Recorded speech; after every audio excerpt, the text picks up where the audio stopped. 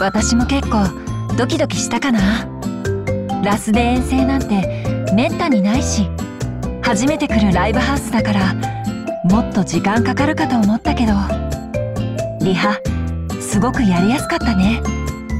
仕事も丁寧だし細かい視点にもすぐに対応してくれたしな。こっちも遠くまでやりに来た甲斐があるってもんだ。これは本番が楽しみですねチュチュ様イエス！ラスのステージをオーディエンスに刻みつけるわよ！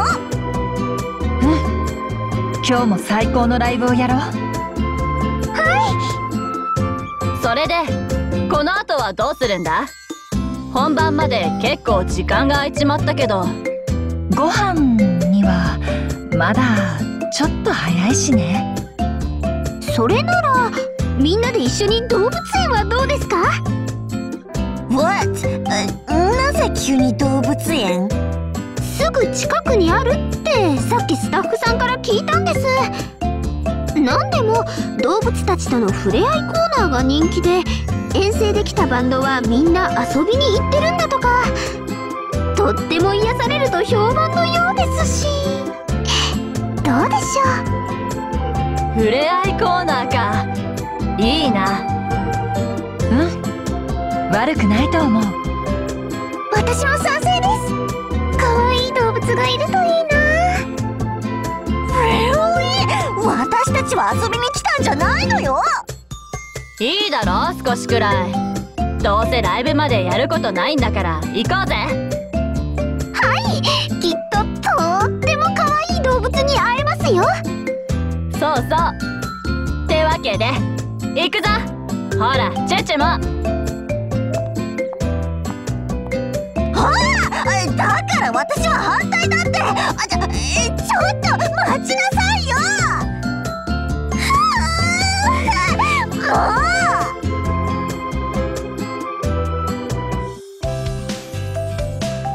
うゾウパンダホッキョクグマにアザラシ。結構いろんな動物見て回ったな。次は？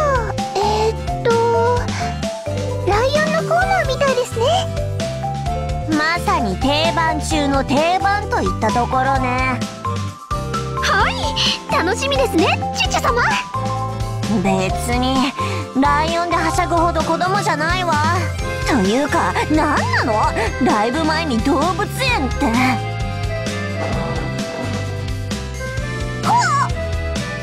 吠えたねライオン。驚いた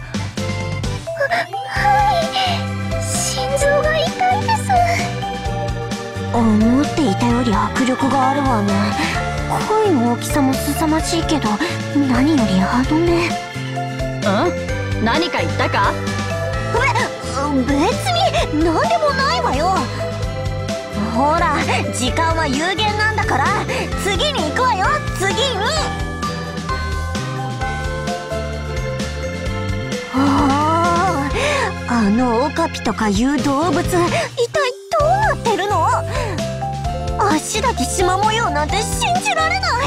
その上シマウマじゃなくてキリンの仲間だなんて全然納得がいかないわ。それにあっちにいる目つきの悪い鳥。さっきから全く動いてないけど本当は置物なんじゃないの？やたら大きくて迫力はあるけど。あわ動いた！今動いたわよね！あ何をぼんやりして？いや思ったより満喫してるなと思ってさ。チュチュ様が楽しそうでパレオも嬉しいです。べ別に楽しんでるわけじゃないわ。ただの感想よ感想。ふーん何よその顔は。別に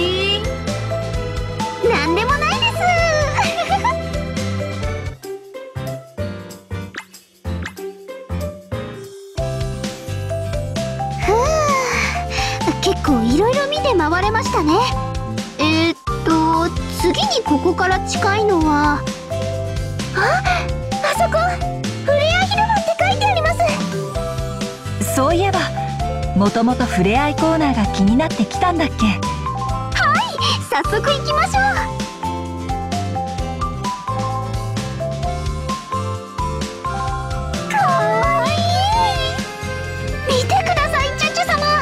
このうさぎさんすっごくふわふわですよ。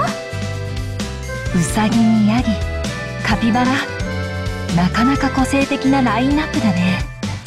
ああカピバラに触るのなんて初めて。うん？カピバラの毛って意外と硬いんだな。ほらチェチュも中入って触ってみろよ。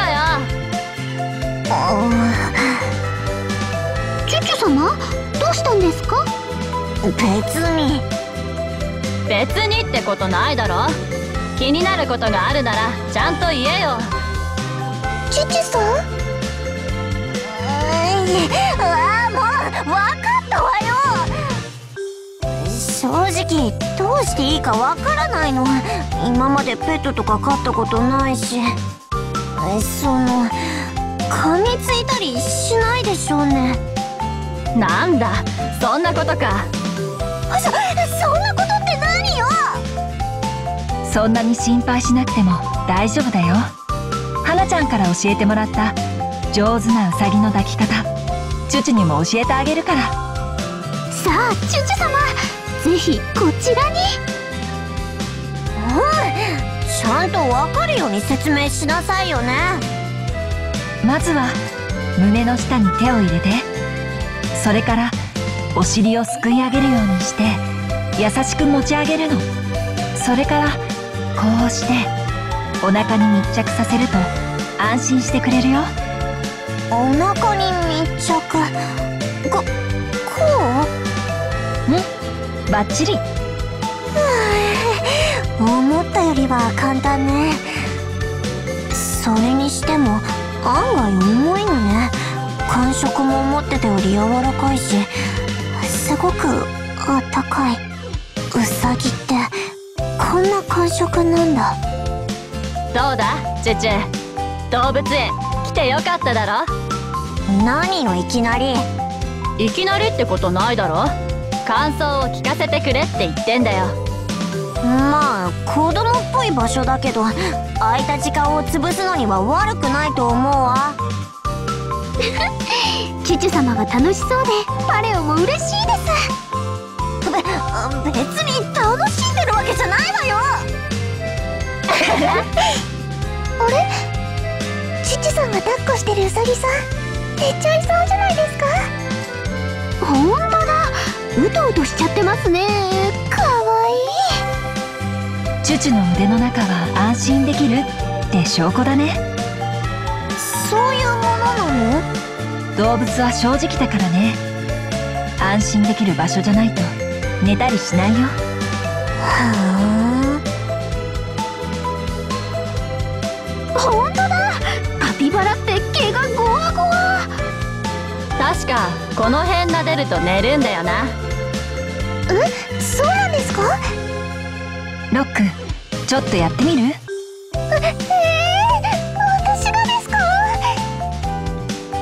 ったくもっと静かに触れ合えないのかしら。あんまり騒ぐとウサギが起きちゃうじゃない。かわいい。あヤギさんそれは私の髪の毛です。食べないでください。パレオいいからまず立てって。口元に髪があるから気になるんだよ。そそうでしたまだ騒いでる。はあ。それじゃそろそろ帰るわよ。私がここまで付き合ったのよ。ライブで結果を出せなかったら承知しないから。